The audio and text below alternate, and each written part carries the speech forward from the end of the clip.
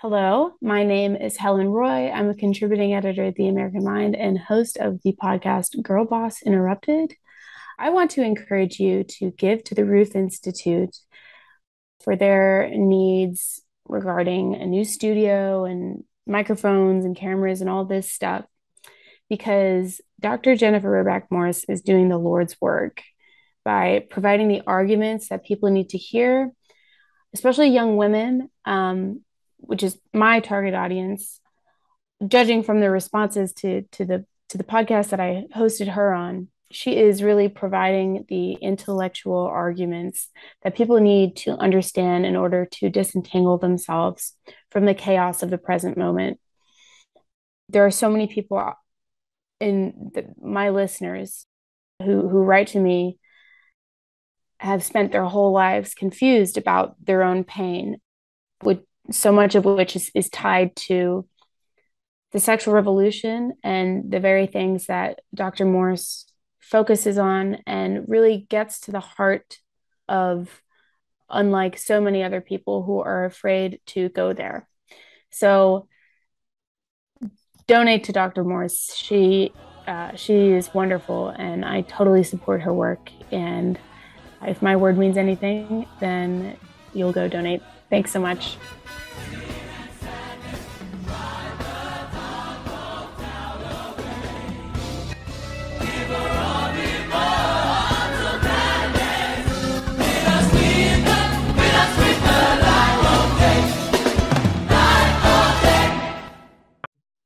Hi, everyone. I'm Dr. Jennifer Roback Morse, founder and president of the Ruth Institute. And today on the Dr. J Show, I'm very excited to have investigative journalist for the Christian Post, Mr. Brandon Showalter. I'm especially delighted to have Brandon on here because he was literally the very first guest that we ever had on the Dr. J Show. We started in September of 2019. So, Brandon Showalter, great to have you back on the Dr. J Show. Thank you. Good to be here again. Yeah, you know what? We've both come a long way, haven't we? Uh, you could say that. In fact, I think you've completed a master's degree since we last talked. But tell us just a little bit about that program. It was a pretty interesting program. I have. I had a wonderful time. It was a Master of Arts degree in human rights. It's a unique program, all of it, all its own, at the Catholic University of America in Washington D.C. I absolutely loved it a one year a one year MA degree, and they made us sweat for it, but it was an extraordinary experience. I, I can't say enough good things about it. That's great. That's great. Glad to hear it. Um, because I remember hearing about it when it first emerged, and you were like one of the very first classes, if I'm not mistaken. Class uh, number three, yes. That's wonderful. That's really wonderful. So, you know, the last time we talked, we talked about the problems associated with transing kids, what I would call transing kids, using medical surgeries, medical procedures, pharmaceutical surgeries, all that kind of thing, to attempt to change the top, the sex of the body. Um, and it's particularly you've been particularly focused not just on that, but on that going on for minors, for kids, people under the age of 18. Brandon, how did you get interested in this topic? It's definitely wasn't signed something I signed up to do during a career fair at school. It was just kind of this, great, this fight found me, and it was a very strange um, rabbit hole to fall down. Uh, I, I, fell down this rabbit hole uh, soon after I got started as a journalist in 2016, and I was aware of some of the developments within the larger LGBTQ plus XYZ movement, with however many letters there are now. Um, when I saw in the media that they were using words like she and her to refer to males, and I saw this twisting and manipulation of language going on that was so bizarre and bewildering, and I couldn't even understand what was going on. And I was aware of some of this gender craziness. I saw Time magazine in 2014 with the transgender actor Laverne Cox on the cover, and I figured, well, there must be something really behind that because you just don't land a magazine cover like that. And then Bruce Jenner on the cover of Vanity Fair in that mm-hmm. white smock or whatever that nightgown. I just thought, wow, this is just kind of bizarre. Um, and then I saw the language twisting, as I was just saying, and I couldn't even understand what was being written because sometimes there would be an actual female in the article, but they would appear to be referring to a male as she. And so I was just so confused. and I realized just how sinister and insidious this ideology was, where they were even warping our very means of communication. But as I fell down deeper into this rabbit hole, I learned that this was all part of the medical apparatus, our hospital system, the healthcare um, system in this country, and that yes, children were being drugged with hormone blockers, followed on by cross sex hormones, and then body disfiguring cosmetic medically unnecessary surgeries. Mm-hmm. And as I often say, something inside me snapped. I was never the same again. There are girls as young as 13 who've had their breasts cut off in this country. Who knows? There might be younger, and I but reported there have been girls as young as 13. But it's all the rage now. I, I hear on college campuses and girls in, in their later teens are going to have this done. They're having double mastectomies, and a lot of times oh. parents don't even know about it because they post they post pictures of their chest scars on Instagram. That's how they find out about it. Oh my god. Yeah, it's oh bad. It's oh. so it's so horrific. Oh. Endocrinologists and other doctors that you would think first do no harm, but no, there's this whole cottage industry now that they're shepherding these kids into. And I've talked to some of these parents, and they call me and they're horrified because their daughters have beards and they got testosterone at Planned Parenthood because that's the largest dispensary of transgender hormones now. This is their what they're making money off of now. Wow. And I've, I've read of cases where just a few visits they get this. I mean, they like to say, "Oh yeah, there's a big mental health."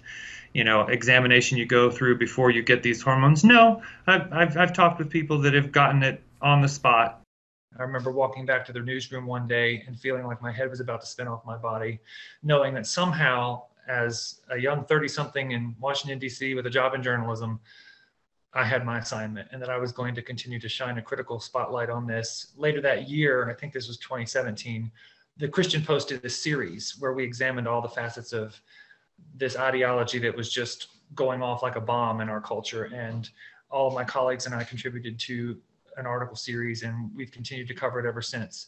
But I've been the lead reporter at my publication to do this work and investigate what's going on and to report in contrast to the legacy media and not carry water for what I believe is one of the worst medical scandals the world has ever seen. If, if you could just to help focus the discussion, Brandon, if you could just tell describe people one of the most ghastly cases that you've ever seen. You know, was it was there some particular uh, young person who'd been harmed uh, uh, that you that that made you snap, or was it some group of parents who reached out to you? Was there something particular, um, or, or or or can you think of a, a particularly um, noteworthy story that um, that flipped the switch for you? there were two that really stand out that, that continue to stand out in my mind and there are so many at this point because i don't know i couldn't tell you how many parents i've heard from since i started yes. parents torn you know families torn apart it really is it's like a bomb I, I make i think i made that analogy a moment ago but it's like a bomb that goes off inside of a home when this when you find out that daughters go to Planned Parenthood and get testosterone and then their voice lowers and becomes froggy. I mean, I don't know how many times I've heard that.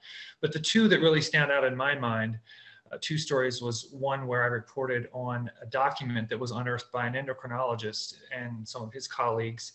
I think he made this public and I reported it in 2019, but the previous year, possibly the year before, he and his colleagues filed a Freedom of Information request, uh, Freedom of Information Act request of some of the documents that were going on with an NIH, National Institutes of Health research grant to the tune of $5.7 million that was given to several pediatric gender clinics, of which there are dozens, hundreds if you count Planned Parenthood clinics, but these are pediatric gender clinics in children's hospitals across this country. Where, when he got the documents back, he found a progress report from this grant recipient where a doctor in California had lowered the age of the cross sex hormone cohort inclusion criteria from 13 years old to eight eight-year-old children being given cross-sex hormones in a federally funded research experiment. And when he wrote to the NIH, and I reported this as well, the bureaucrat who responded to him basically gaslit him and said, this is an observational study or some such nonsense, some such nonsense. A total distinction without a difference. So the doctors and the, I don't even like calling them doctors, but the clinicians who do this kind of insane experimentation on children, have all kinds of high-minded, sophisticated language in which they dress up this research to make it sound all you know important to study and whatnot. Meanwhile they're experimenting on children. When i saw that foia document i thought my eyes were going to bug out of my head mm-hmm. dr morse. It was just one of those gut wrenching moments when i knew i had to report something extremely difficult but the public right. had to about it the other one the other story that stands out in my mind before before you go on before you go on with that yeah. let, us just clarify some language because you and i are deeply into this stuff sure. and i want to make sure our listeners know what you're talking about when you say uh, what was the term you used about the hormones that the kids were taking? Cross-sex hormones? Is that what you said, or what? Hormone blockers, puberty blockers. Um, That's the point. Which is, it's a horm- they're untested hormonal agents that stop the pubertal signaling in the brain with the pituitary. They they halt the normal processes that when it's when a kid is ready to go into puberty, it stops that. If you have precocious puberty where you're you go into it too early, sometimes clinicians can administer a blocker so that you can go into puberty at the right age. And that's there's a broad. These drugs are pretty rough, but that is at least you're trying to address a medical condition. Right. These drugs are now being used off-label and clinically unapproved purpose for gender confusion, and you're stopping a normal, healthy puberty.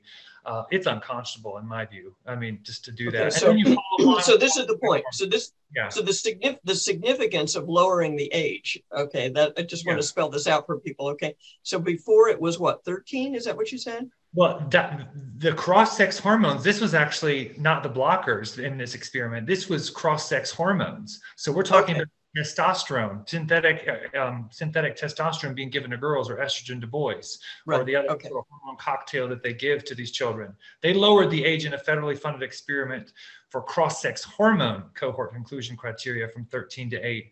Usually you talk about an eight-year-old if they're putting them on the hormone blockers, which comes before. But right. talk about even testosterone being given to eight-year-old girls. right, right. And the point is, there, there, there, are multiple points here, but but right. one of the points surely is that the older the child, the more likely they would be to be giving some kind of informed consent. The idea that an eight-year-old yes. knows their true identity that just seems like off the charts unlikely right of and course. then and then what you're saying is that it's it's extreme this the cross sex hormones is worse than just stopping the pubertal process it's worse right. than that it's turning it around um, and so you're in pursuit yes that's right in pursuit of a physiological you know impossibility you can't become Correct. the sex. And so this whole this whole treatment protocol, if you can even call it treatment, I don't even like all this language is just so uh, yes, it's it's entirely based on a lie. And so yes, because yes, when you combine chemical puberty blockade with cross-sex hormone, the result is almost a guarantee to be you'll render a child sterile. And, and, other, and other other complications too. Your endocrine system is hijacked. You open yourself up for all kinds of medical problems. Yes, and you know, I think I remember you when you gave a speech at the Ruth Institute some time ago um, in 2020. I think it was 2020, 2019. 2020, that's right. 2020. You gave a speech at the Ruth Institute, and I remember you saying very clearly, you know, usually when you go to an endocrinologist, that the idea is to get your hormones doing what they're supposed to do, getting them back into balance. And here we have a case where we're deliberately um, confusing or diverting a process that's working normally um, right. and, and, we're doing this for younger and younger persons who are less and less likely to be able to give consent. So, so I just want to stop and pause on that because you, you know you're so deeply into it, Brandon, and, and our typical persons. I, I pro- probably there's some jaw dropping now as people are watching this, like what they did, what. Um, so that was the first thing, realizing that these that this that our federal tax dollars uh, were being spent on a study where the inclusion age was as low as eight. Some of the participants could could have been legally as low as eight, and that blew your mind. That was one of the things that just yes. When people I talk about this stuff, they just it's so horrible. This kind of analysis paralysis often sets in. They think right. it can't be that bad, and it's like that's right. hyperlinks. I've got the original source material. Yeah, right don't take my word for it. Just read the original stuff for yourself. Yeah, yeah, yeah. Do, do you know Brandon, the guy who was the videographer at our, who's our regular videographer? Um, he, he, told me after the fact that you know some of the stuff that I heard at y'all's thing, I thought, nah, that can't be right. That can't possibly be, be true. And then he said, and then I went and looked it up, and it's like it's worse. It's it's really all that bad, you know. Yeah. And so that's an experience other people might might very well have because our videographer had no had no dog in the fight one way or the other. He had no right. preconception about it. He just used, it just blows the mind that something like this is going on. So sorry, tell us the second incident that um that turned you uh, that changed your life. Well, there's there's a second and a third and a fourth and a fifth. I, I, there's not a single story in this. I know. Horrifying, but the yeah. one that really is probably one of the worst stories that I've ever heard was uh, a poor man who I profiled. I wrote a big 6,000 word feature story. Um, he told me about how he was enticed into this experimental medicalization. He's from the Midwest, but then moved out to California. And this all started in college where he was dealing with some, some I think, some real anxiety and distress, uh, psychological distress, mental health. He was a not he was an unwell man, and on his first visit to the clinic, uh, someone I, it may have been a nurse practitioner, someone staffing this office told him, "If you think you're trans, you are trans." And that's just how it all started. He went down the pathway of hormones, and the way he told it to me was, and this this poor man was the most tormented soul I've ever I've ever talked to. Um, the way these doctors, again, uh, they're, they're a disgrace to the profession of medicine. I don't even like to call them doctors because I feel like that confers a kind of dignity on them that they don't deserve. These gender clinicians would portray these various surgeries to him, and it was like a multi level marketing upsell. Like he was just being sent down the conveyor belt that this is going to help him and continue on with his journey of gender exploration. Uh, and one of the things that he told me, and it just it's gobsmacking when I heard it was that they never even used biologically accurate words for his anatomy. And so he's he was totally dissociated from reality. And they kept talking about, well, do you want to get the piece of your body that creates the testosterone removed? And they didn't even use the word testicle. And he agreed to it finally because they kept pestering about it. And they performed an orchiectomy on this guy, which is the amputation of his testicles. And he woke up from that surgery castrated and was told that this is not going to affect how you look, feel, or function. He was also told that. Wow. So he looks down at his genitals, and his scrotum looks like a cross between a deflated balloon and a chicken's neck. And then some months later, he tries to have sex and he ejaculates blood. And I mean, just the horrors that are being perpetrated all in the name of medicine with no oversight. And so then, so back, then what happened to this guy? So, so, so he ejaculated blood. What, what did he do then? Well, that kind of was the, the realization that maybe this all wasn't such a great idea.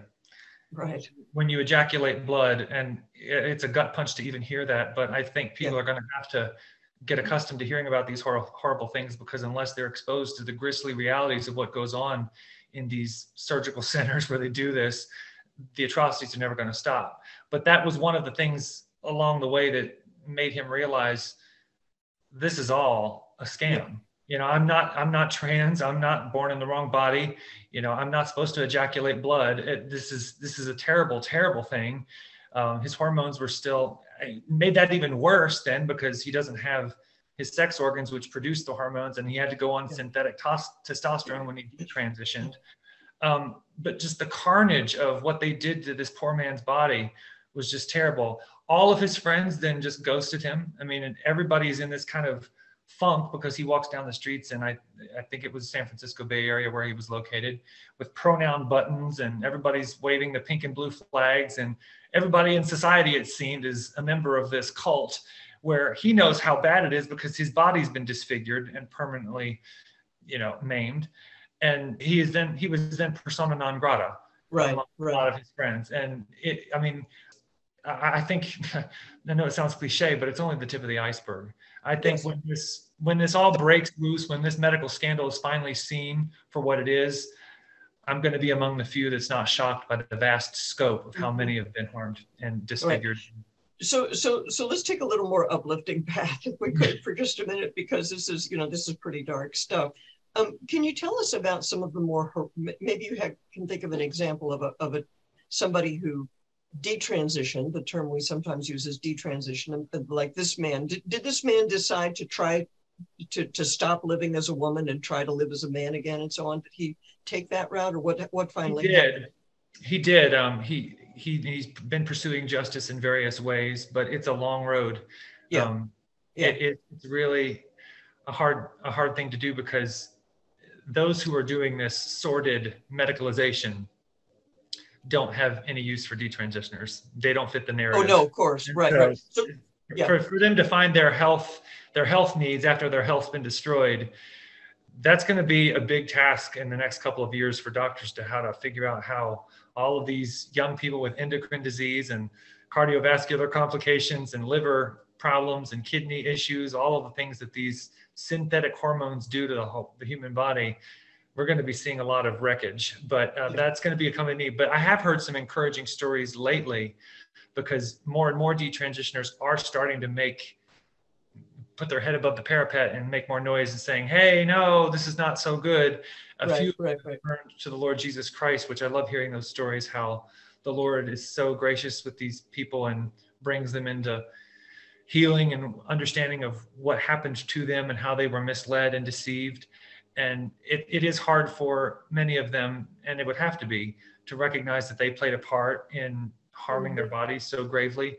But the Lord is so merciful, and I've heard many stories recently. Reported a few. I did a I did report on a detransitioner story uh, in that 2017 series that I mentioned a few moments ago. Kathy Grace Duncan, she was underwent some of these experimental drugs and hormones, uh, and I, I, was it was an honor to report her mm-hmm. story mm-hmm. and how she received Christ and came to understand herself as the woman that God made her to be. Mm-hmm. And she is also uh, a featured testimony in Tucker Carlson's most recent documentary film, which I am also in. And so it's kind of cool to see that all come full circle. But I do recommend that people check out her story because it is quite inspiring. The Lord truly can redeem even this. So, but but you've talked to a number of detransitioners now. It, it seems like and you've also talked with a number of parents. It, just for the sake of our listeners, um, walk people through what would be a, a typical sort of story. You know, um, rather than tell one one story, what's the process? What's the pattern? You know, the child comes and says, "I'm trans, mom, and here's what's going to happen next." Well, what does happen next? Yes, each story has its own unique horrors, but mm-hmm. there's stunning there are stunning similarities in all of them. And a very common thread is it is mostly girls these days. We're seeing skyrocketing rates of what they call gender dysphoria. Um, whether they really are gender confused, some of them are, whether or this is part of a social contagion, which is also, I yes. think, very clearly evident. Uh, I've, I've heard from teenage boy, you know, teenage mothers and fathers of teenage boys as well. But what is often uh, the case, what often happens is that uh, these are kids that are already struggling in some kind of either mental health issue or autistic or some kind of they were bullied at school they're lonely they're outcast and they find themselves online on sites like tumblr and youtube and other social media sites where these trans activist influencers uh, congregate together and they start talking and they're inculcated with an ideology. A huge bastion of this indoctrination that happens with all things transgender is uh, GSA clubs, Gender Sexuality Alliance, what used to be known as Gay Straight Alliance clubs at school, where teens who are distressed come together and they talk about their problems and they people who are already struggling become inculcated with this belief that they were somehow born in the wrong body. And the schools sometimes then facilitate further uh, help where I've heard stories of guidance counselors looking up referrals for the gender clinic locally and they're sort of behind the parents' backs, making suggestions and furthering this along at school. I've even seen um, where they have trans transition closets where children come dressed at school one way and then they'll go into the closet and dress in these other sets of clothes so they can present as the opposite sex without their parents knowing about it you know, I've heard all kinds of things. Um, girls let's are pause here and let's let's pause here and note in some states it is legal for this to go on without the parents' consent. Is that typical or not typical? What can you say about the states where that's permitted? it's written in school policy. Uh, I don't know what the state of the state laws is. It wouldn't surprise me if sort of what kind of administrative laws or uh, regulations allow for this, but basically the schools are quite totalitarian and they will actively deceive parents. They will use different names on documents that are sent home with correspondence with parents versus how the child is called and treated at school. The schools are playing an integral part in this mass delusion and confusion. Um, that's very typical. And sometimes parents find out about this accidentally, and many of them are starting to sue their school districts for being a part of this and for uh, violating their rights. And uh, we're starting, they're starting to be successful. Actually, I've heard some legal efforts on that front where parents are just fed up. I'm actually doing this interview from Loudoun County, Virginia today, which has been kind of, I'm going to an event after we're finished here. I'm going to be covering it where it's sort of an epicenter of parental pushback against this kind of thing. So they have suppressed the truth of what they've been doing and they've used very manipulative language and deceitful tactics to shield parents from allowing them to know what's going on with their child at school. But the truth is getting out slowly but surely. And once you start messing with people's children the claws really come out and understandably so. Right right. So in some states uh, is it it's legal or at least there's a there's a facade of legality. pretense of legality, yes. Yeah, and yeah. I think and so I, it wouldn't surprise me if it's completely legal in a place like Oregon or California. right, The, the more liberal the district, the worse off you are. correct, correct. The schools make their own policies, and then they'll they'll insist that well, this is just the professional recommendations from all these professional societies that have been captured by gender ideologues, and so they have this veneer of respectability when in fact it's an atrocity. Right, right. So, so let's go back to our hypothetical family here. Um, Yeah. The child decides that they are uh, that transing is somehow the answer to their problems. They're maybe at a GSA club. Maybe they've gone online. They've got Mm-hmm. a new friend group of online people and stuff like that. Um, is that what's called rapid onset gender dysphoria, Brandon?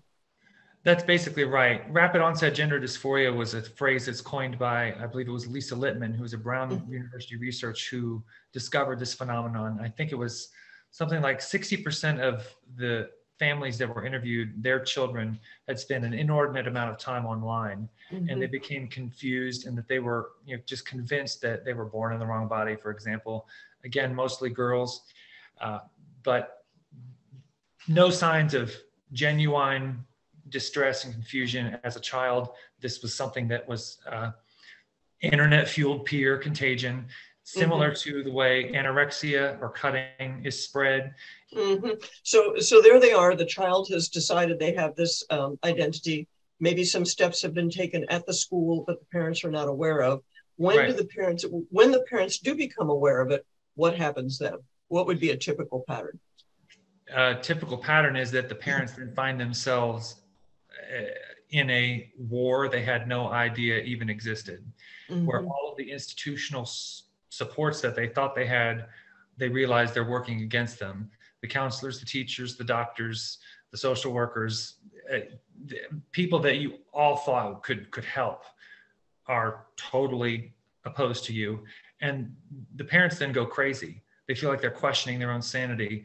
Um, Mhm. and they have nowhere to turn. They'll sometimes then they'll scour the internet and they'll find the Christian Post or you know, or, or radical feminist blogs, or they'll, they'll they'll start to look. Is there anybody that's scrutinizing this because uh, the you know the parties that the powers that be have consolidated enough of their their power in the institutions to wage this top-down social engineering Yes. on masses whether they want it or not. And Yes. so a lot of people who would normally never talk to somebody like me are just desperate for help and resources. It's it's a hard thing because again, so much of the culture is consumed by this dogma that just reinforces it everywhere you go. So it's a very quiet, uh, excruciating suffering that these these families endure. It is, I heard one put it, one parent put it this way, an exquisite form of torture. Mhm. Because they're isolated from the people they thought were their friends. If their friends aren't aware Oh, of what's really going on, they're following the woke crowd, right? Right. And well, the doctors say it's right, and you know, I I saw it on Ellen DeGener- DeGeneres. You, you know who I mean. Right. I saw it on TV, uh, it must be okay. You're the problem. You're interfering with your child. American Academy of Pediatrics and your doctor's visits. I mean, these prominent institutions that were vaunted, you know, respected, all the elites. I mean, it's just astonishing how the tops of the tops, the most prestigious societies and institutions are all peddling this same yeah. junk. Yeah. So, have you heard of cases where parents have lost custody of their child in some way? T- tell people a little bit about how that might happen. Oh, yes. The most devastating one uh, on, on that was the case of Abigail Martinez. And I mentioned the Tucker Carlson documentary with Kathy Grace Drumpin. Well, her story is also featured in Tucker Carlson's documentary that is out now, available on Fox Nation. Abigail's daughter, Yaeli, became mired in this at her school. And once she turned 16, practically, as Abigail puts it, they kidnapped her daughter. Her cluster of trans identified friends and what they call a glitter family. This is a trans activist family that sort of shepherds these young people who are confused into contexts where their identity will be affirmed as the opposite sex or whatever queer identity they have chosen for themselves. The laws were written such that she was removed. Yaeli was removed from Abigail's custody. Horrible situation. The social services agency removed custody and she moved, Yaeli moved, the daughter moved into a group home. None of her problems, you know, were solved by any of this. And I, she was hormonally transed and she was put on the hormones, didn't alleviate any of her distress. Abigail went to court, family court, I think every month to try and get her daughter back. She said, You've got to address my daughter's mental health. These hormones are not going to fix her problems. She begged for them to do a psychological evaluation. I mean, here's a she's an El Salvadorian immigrant to this country. Um, and she, I don't think ever thought that her new nation where she made her home would be doing this to her child. But uh, at age 19, tragically, um, and Abigail has told me that these hormones just caused her daughter so much pain because the female body is not meant to take that much testosterone. Mm-hmm. But Yaeli was really um, distressed, and one morning Abigail woke up and just she just knew something was wrong. She got a text message from her daughter, but she just had this maternal instinct that something was wrong. And later that day, I believe it was September 4th, 2019, 19 year old Yaeli Moselle Galdamez, Abigail Martinez's daughter, knelt down in front of an oncoming train and took her own life. Wow. And then Abigail, poor Abigail, had to get the phone call that is every parent's worst nightmare, oh. where I, the I guess it was the coroner or the relevant authorities called her and said, "Are you driving?" And she said, "Yes." And she said, "Can you park your car?" And so she pulled over by the gas station, and uh, they had to tell her that that her her daughter had taken her own life, and then she had to hear about how they were ret- retrieving the pieces of her daughter's shattered body from the train tracks oh. just the most horrific, horrific. That's what this ideology does to people.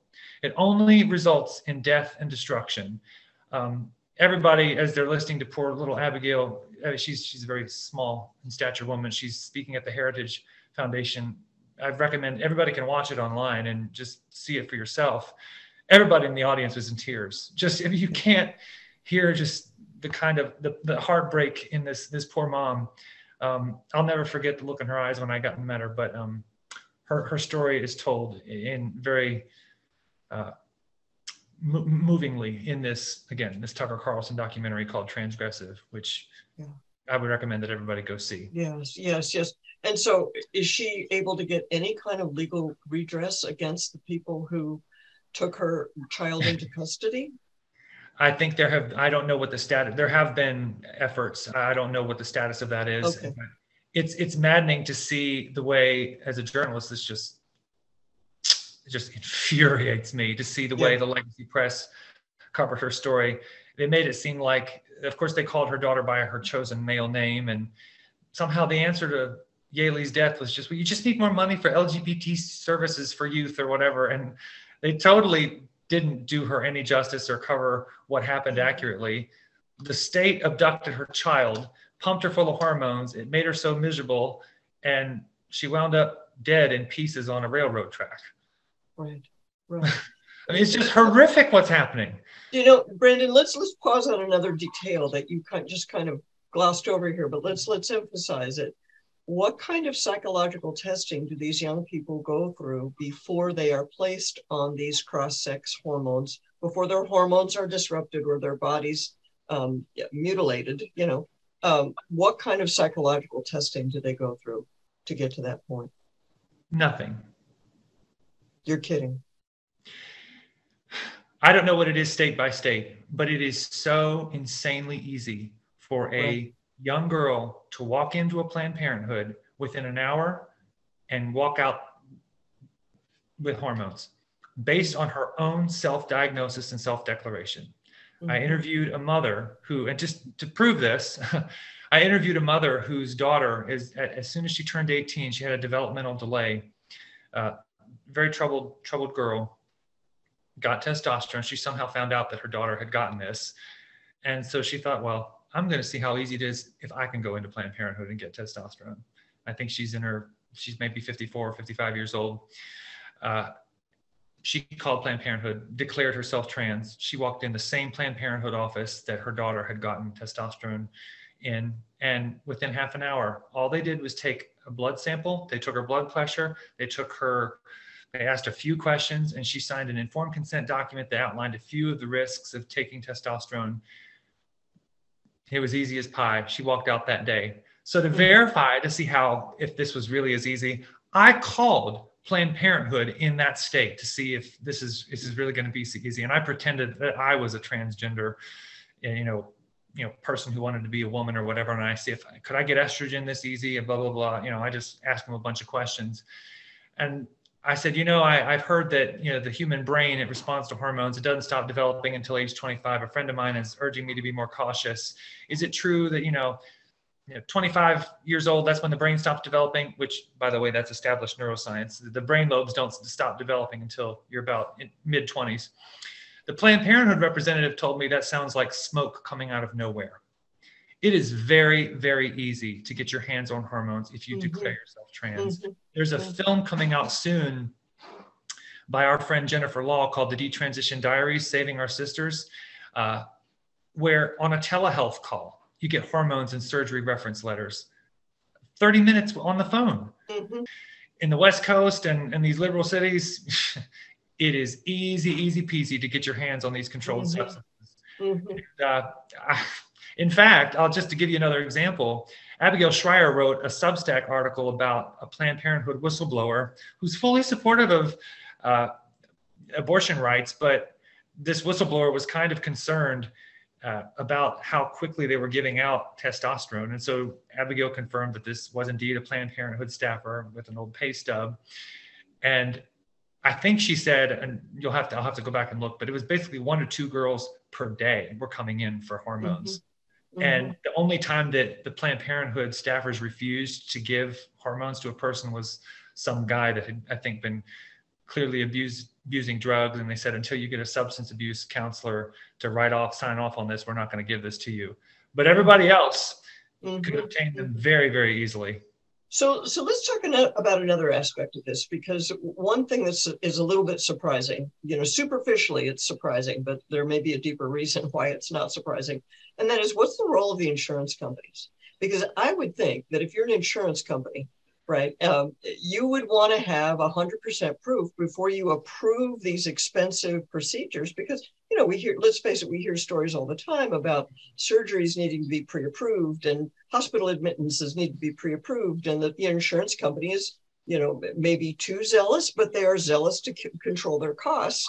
Wouldn't you think the insurance companies would say, hey, no, we're not going to cover this unless you have some kind of, unless you have this standard and that standard and the other is uh, uh, what's going on with the insurance company, Brandon? Do you know? You know, the insurance angle is actually not so much uh, an angle where I've dug in so much. Okay. I can say that there is tremendous ideological pressure for everybody to conform, no matter the business. So right, insurance, right. insurance companies, I think, feel that same pressure. Uh, but in a, in a normal time, you would think, well, it wouldn't make any sense for me to cover this because these people have to get follow-up surgeries they're going to be paying out a lot of money why would you ever want to to do mm-hmm. this and uh, so this isn't healthcare. This is harm to the body. You're Right. not you're not really doing anything that's going to make you. I mean, an insurance company, you would want someone who's paying in to be healthy. So you wouldn't Right. want to have to pay out all this money to, you know, cover a disfiguring surgery that's going to create more problems where you then have to pay more out. But is is it isn't it the case that in, in general insurance does not pay for cosmetic surgery, right? Generally, in general, that's that's the case. They Okay. won't cover reconstructive surgery for detransitioners who Yes, want to go back and reintegrate Yes. with their actual bodies. That won't be covered.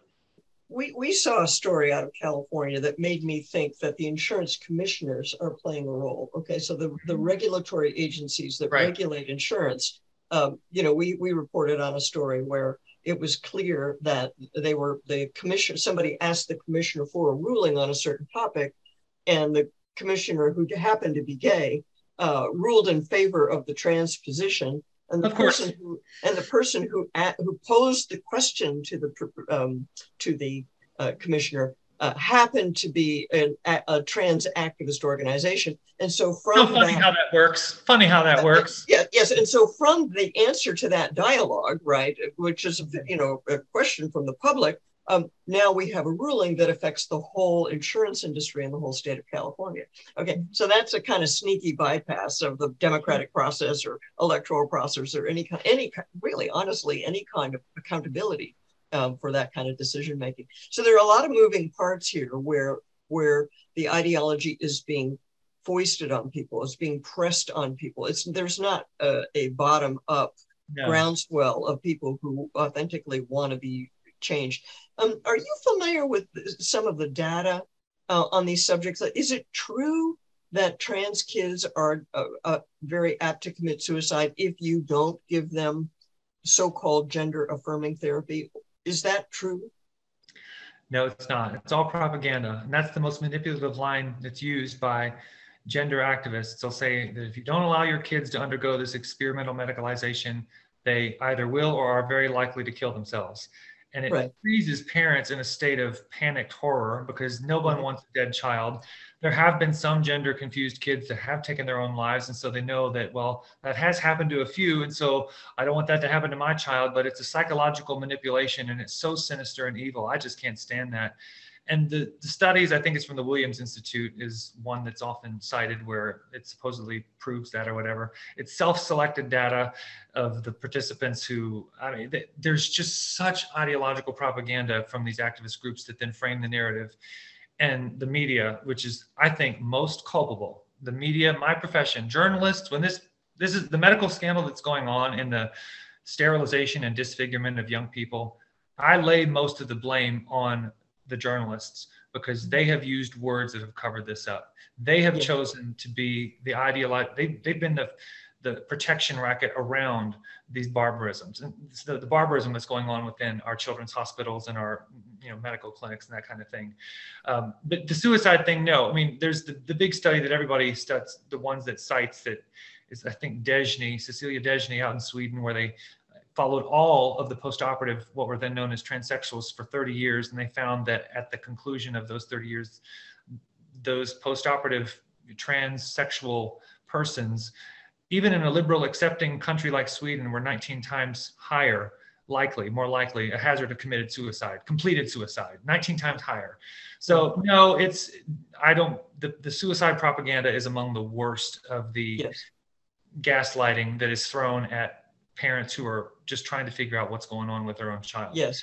And and and we have a, a resource written by our mutual friend Jane Robbins, Mm. uh, who lays all of that stuff out. And so if people go to, to the Ruth Institute's Transgen- Transgender Resource Center, you'll find that there. And you can, it's a very well done, well documented document on that. Another statistic that I've sometimes heard um, talked about is if you if you ha- take the approach of watchful waiting and you do nothing, what do we know uh, about what happens with those kids? Or do we know anymore? Uh, What what do let's put it let's leave it open. What do we know um, uh, about kids where you do not aggressively intervene medically? What happens with those kids? 80 to 90% of them grow out of it. Mm-hmm. Fine. Mm-hmm. Some of That's them are right. same-sex attracted, and some of them are just dealing with other things. But you, you know, gender dysphoria, gender identity disorder, whatever you want to call it, is not an endocrine condition. It's not a hormone condition. but it becomes one if you introduce a synthetic, you know, foreign hormone that wouldn't ordinarily be there, and you you hijack your endocrine system. Like it, it's just in, it's just mind-bogglingly insane that we're treating something psychological with untested hormones and surgical instruments those belong nowhere near a child. right, right, right, right, right. And now, now you mentioned that some of these young people are same-sex attracted, and that brought another thought to my mind, which is that you have be- made alliances with some very unlikely people in the mm-hmm. course of doing this work. Tell people a bit, a bit about some of your friends who are radical feminists or even lesbians who mm-hmm. basically agree with the Christian Post and the Heritage Foundation mm-hmm. um, on this particular topic. How does that work, Brandon? What's that all about? Well, some of the radical feminists are some of the most bold and you know relentless voices against this scourge and i applaud them for it. I also happen to agree with them on pornography and surrogacy and prostitution and so there's some really meaningful common ground that i have with them even as on uh, matters of sexual ethics and anthropology and marriage other things that were pretty far apart. But look i'm willing to talk to anybody and over the course of the years uh, i've had some really interesting conversations with radical feminists and lesbians mm-hmm. who, because this is disproportionately affecting girls, uh, yes. vulnerable, some of them same-sex attracted. Like, I don't want to see anybody harmed by this. I mean, I, and I think I'll be the first to say, Dr. Morse, that I think treating same-sex attraction with hormones ought to be a crime. I mean, yeah, right. yeah I mean, just seriously, it's horrific. And so, and, and in effect, and in effect, let's pause right there. In right. effect, that's what's happening. An effeminate boy who might have grown up to be gay is now being told he's really a girl. Yes. Right. And so it's a kind of it's a kind of weird conversion therapy. Actual chemical twisted. conversion therapy. Yeah, yes. it's a t- very twisted use of language. But we're also confused because of the use of language, the deliberate obfuscation right. of, of, with language. That these you know these boys are being are being castrated and yes. you know steered girls down too. this. And girls yeah, too. Exactly. Exactly. Exactly. There's a procedure that is done called a radial forearm phalloplasty. Oh I have to describe this because people need to see this so they know that this is real. But for some girls who they, they don't just get the, the top surgery, as it's euphemistically called, where they remove the breasts, in order for a girl who believes she's a boy, a you know, teenage girl or young woman in college or whenever they get it done, they strip the flesh, surgically strip the flesh from her forearm then they graft the skin from the leg and they use that arm flesh to make a fake pseudo penis. But it, the, the thing about the feminists and the radical the radical feminists and the lesbians are is that trans activism, while a lot of its ideological foot soldiers are woke white women and very liberal white women, there is an unmistakable misogyny and the billionaire fetishistic autogynephile you know perverts who are presenting themselves as the opposite sex or these men that become convinced that they are women and they get breast implants and uh, whatever they do the the virulent misogyny that is hurled at women and girls who resist this is appalling yes I mean, it, and you used the word ferocious. you hold, hold it right here because this is a very important point Right. You used the word autogynephile. Oh, yes. Tell people what that word means. This is now Bruce Jenner. Mm-hmm. This is um, uh, Richard Pritzker. Levine. Yeah. This is yeah, Richard Levine. Yeah. Jennifer Pritzker. Pritzker. You know who I mean. Um, these these men who have had long careers as uh, uh high-powered careers, husbands, fathers, they decide they were born in the wrong body and do mm-hmm. something to themselves. What does the term autogynephilia mean, and who are these guys? Autogynephilia is a fetish. It's a kind of gender confusion where men sort of fall in love with themselves as a woman and mm-hmm. they sort of get a sexual kick, a thrill out of presenting themselves as a woman. It's this very warped and twisted mm-hmm.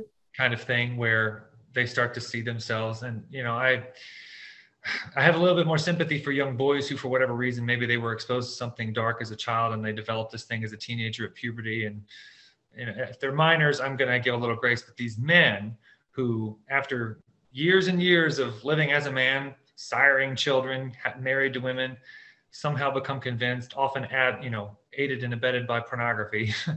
There's this mm-hmm. fetishistic identity that they adopt and they pretend that they have been a woman this whole time. And mm-hmm. then they mm-hmm. get all this sympathy from people who believe that they're a marginalized community or some such nonsense. Mm-hmm. But mm-hmm. these are the kinds of, you know, frankly perverts that are pushing this insanity on society as a whole. And so if we look at this, we've got the word transgender being used to, to represent some very different people. Okay, yeah. so so you've got a guy like Bruce Jenner who is not vulnerable in any way whatsoever, right. um, kind of um, uh, carrying the ideological ball forward and claiming that this is all about that poor uh, transgender youth who's confused and whose parents right. don't understand him, right? And so, people, you need to be clear in your own mind mm-hmm. when somebody says, I'm trans. The first thing out of your mouth needs to be, What do you mean by that? Right. Okay. So if your son or daughter comes and says that to you, I strongly recommend, and I've heard this from other therapists. Um, I, am not a therapist. I've heard this from therapists. Um, what do you recommend? The first thing you need to say is, What do you mean by that? And give them an open invitation to talk so that you find out what their thing is. And then you got to put Bruce Jenner, you got to put him aside. Jazz Jennings, you got to put that aside because that's another whole different syndrome. You know, right. and then look at your kid and what what this what are they trying to say? Uh, right. With, with and this. if I may, I just want to make this point about uh, finding information about this is so hard. Yes. Because people in my profession, I, I cannot emphasize enough how utterly corrupted the mass media is around this because if you want good information, the media, which has the obligation to convey the truth with words, are deliberately deliberately covering this up. This has gone on and this has been allowed to explode and become the vast behemoth that it is because those who are charged with scrutinizing medical information and relaying and conveying to the public information that's important are lying just recently I wrote an article that gained a lot of traction because the media was just totally running interference for children's hospitals that are doing these kinds of trans surgeries and drugs, and you know, blockers and hormones to, to young people, insisting that surgeries aren't being done to minors. They're just, it's just a lie. That's right wing disinformation. That's just these. And when people, because people who had said that, where apparently there were children's hospitals being threatened, where Boston Children's Hospital, for example, where the first pediatric gender clinic opened in 2007, had videos on its own YouTube channel talking about how they do this to minors. And then when some activists, all they did was hold up the mirror and say, look, then they just, oh God, oh no, no, you're just, that's just right wing misinformation. You're just causing threats to medical providers, whatnot. And just a couple weeks ago, someone called Washington and National Children's National Hospital to ask them if they do gender affirming hysterectomies on 16 year olds, which their website previously indicated that they did. But then they edited it, edited it to, after some stuff happened with Boston. They thought, well, we're going to clean up our image here. And then when it was exposed on the audio phone call that an activist made that where two different staffers said that they do indeed do it to 16 year olds the media, NPR, Washington Post ran interference for them. Yeah. Let me tell you, Dr. Morris, I got so angry. What I ended up doing was writing a writing an article where I went piece by piece, uh, medical journals, peer-reviewed medical journals, where the gender clinicians themselves say they do it to minors, and you've got the data tables proving it. Yeah. Uh, so understand. You should assume that, especially about this issue, the media lies and they do so with impunity. You should not trust them for any solid information at all. So, where can people get solid information from Brandon Showalter? They can find me on Twitter at Brandon M Show. Mm, you can follow my byline at Christian Post. And again, I just want to recommend that everybody go see Tucker Carlson's original documentary called Transgressive The Cult of Confusion. Tucker and his team did an absolutely terrific job. I'm so thankful to God that Tucker, a, a man with his stature and influence and platform, yeah. sees clearly, doesn't cope, doesn't lend credence to all this insane lingo. He and his team produced a fantastic 50 minute documentary, again, available now on Fox Nation. I recommend that everybody go watch it. Well, we will we will get put a link to that in the show notes for sure. I want to ask you one final question, Brandon Showalter, sure. and that is: Does Christ does the Christian Post use the correct pronouns for people? Absolutely not. We don't even use we don't even use uh, for, for you correct pronouns or in, the preferred pronouns. You tell me. What's your pronoun policy? What is your preferred pronoun policy over there at the Christian Post, Brandon? The Christian, the Christian Post preferred pronoun policy is that pronouns denote sex. We will never call a female he or a male her. We will only ever use biologically accurate pronouns we don't even say the word trans, the phrase transgender woman, because transgender woman obliterates the material reality of biological sex. We say trans identified since it's an identity construct, not a sex. We refuse to participate. We refuse as a publication to you know, journalistically participate in the obliteration and abolition of, of biological sex because it's our tether to reality and we're going to plant our flag on this hill and say no. Brandon Showalter, thank you so much for your work. Please give my very best regards to your colleagues over there at the Christian Post that we appreciate them because I know you your your editor has your back over there and I appreciate that very much. You're great and, editors. Yeah. Yeah. And and Ruthies, listen up. You got to follow this guy. And if you know anybody who is struggling with this issue, whether the child themselves or the parents or the family members are trying to figure out what to do, what to say, you got to follow Brandon Showalter. Brandon, thank you so much for being my guest on today's episode of the Dr. J Show. Thank you.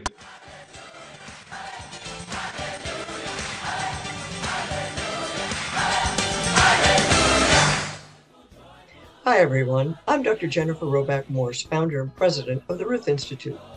Did you know that we've been censored? YouTube deleted three of our videos because we spread medical misinformation. That's because we point out that abortion sometimes harms women.